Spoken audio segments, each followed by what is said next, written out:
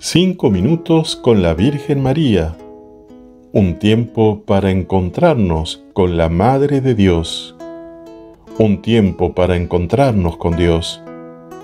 Un tiempo para encontrarnos con nosotros mismos y sanar las heridas del alma. Queridos amigos, reciban hoy siempre la paz y la alegría de Jesús y de María.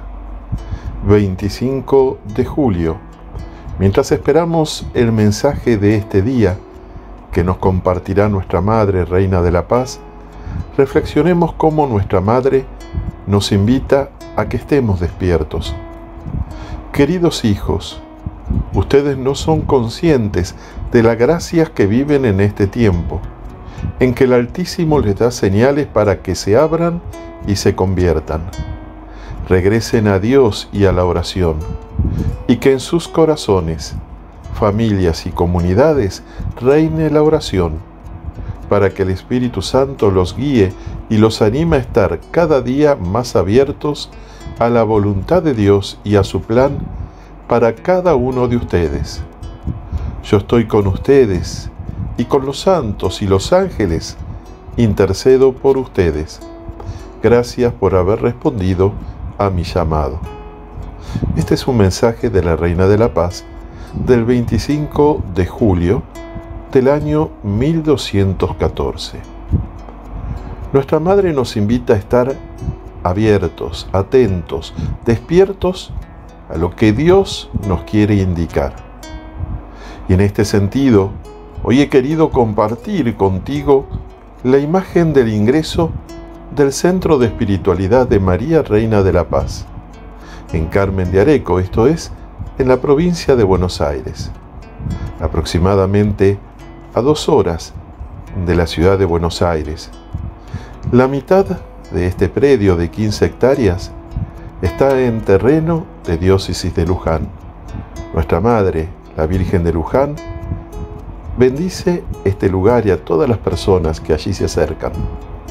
Pero tal como nos contó en su momento el obispo ya ha partido hacia la casa del Padre, Monseñor Cardelli, obispo que guió la diócesis de San Nicolás de los Arroyos, la mitad del otro terreno está en esta diócesis donde nuestra Madre la Virgen María se aparece en la advocación de Nuestra Señora del Rosario de San Nicolás. Por eso en este discernir la voluntad de Dios y cómo María nos fue guiando hacia esa tierra que es de ella, en ambas advocaciones, la Virgen de Luján y Nuestra Señora del Rosario de San Nicolás. Sin embargo, la advocación, como ya algunos padres pasionistas habían sentido la inspiración antes de que lleguemos los mensajeros de la paz, fue puesto bajo la advocación, bajo el manto de María Reina de la Paz. Claro, vos sabés como todos nosotros que siempre es nuestra madre, siempre es la Virgen María, la Madre de Jesús, pero estas diversas advocaciones nos invitan a estar abiertos. Precisamente en la imagen aparece el sendero de una de las entradas, guiados por árboles de casuarina. Y luego, aunque no lo vemos en la imagen, están las ovejas que nos recuerdan que también nosotros somos ovejas del Señor y que Él es nuestro buen pastor. Incluso los servidores que se congregan para servir en las jornadas, en los ejercicios espirituales, en los que se reúnen para restaurar el centro de espiritualidad, para hacer casas para las consagradas, para los peregrinos, para la gente que viene a los retiros, es precisamente son ovejas que quieren también servir al Señor. Y así como nos decía el Papa Francisco, la oveja debe ir madurando y crecer hasta transformarse en pastor, pastora, que va acompañando el caminar de los hermanos. Por eso la Reina de la Paz nos invita a hacer diversas obras de evangelización. A nosotros en este rincón del país y a todos los que quieran sumarse a esta obra, nos invitó a restaurar este lugar, signo de la restauración que Dios quiere hacer en los corazones y en tantas familias que están destrozadas, divididas, que han tenido pérdidas tremendas. Hace un tiempo atrás, cuando tuvimos un encuentro con mensajeros de la paz de diversos países, algunos de los mensajeros que habían estado en peregrinación en Meyugorie y que nunca habían estado, por ser de otros países, en este centro de espiritualidad de la Reina de la Paz, decían, revivimos la experiencia de Meyugorie. Y es que precisamente nuestra Madre nos pidió este centro de espiritualidad para todos aquellos que no tienen la posibilidad, ya sea por los recursos materiales, por la salud o por otras causas, de llegar hasta Meyugorie. Sin embargo, nuestra Madre sí se llega hasta este lugar, como lo aseguró un escritor y predicador Wayne Weibel de los Estados Unidos, o también cuando nos visitó la hermana Emanuel, la hermana Brigitte McKenna, de poder reunirnos a orar, a encontrar el amor de la Madre.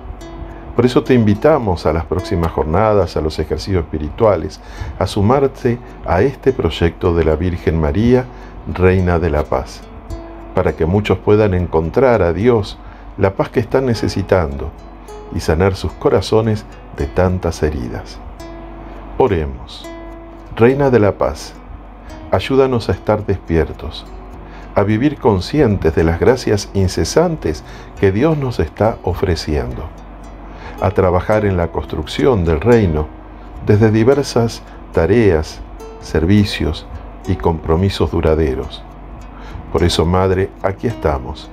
Queremos ser tus manos extendidas para hacer la voluntad de Dios y para que sean muchos los que puedan encontrarse con tu Hijo y sanar las heridas de su alma.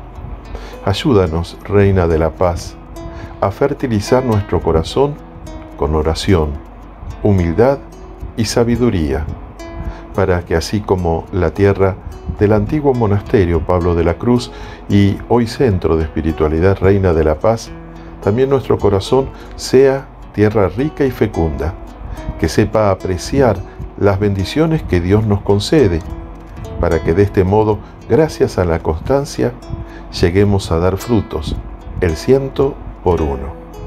Que así sea. María, Reina de la Paz, ruega por nosotros y por el mundo entero. El Señor está contigo. Te bendice nuestro buen Dios, que es Padre, Hijo y Espíritu Santo. Amén. Queridos hermanos, como les decía anteriormente, los invitamos a conocer, ya sea a través de la página de internet de, de los mensajeros de la paz, a través del canal de YouTube, viniendo personalmente a alguna de las actividades, este centro de espiritualidad, que no solo es casa de María, también es tu casa. Hasta mañana, si Dios quiere.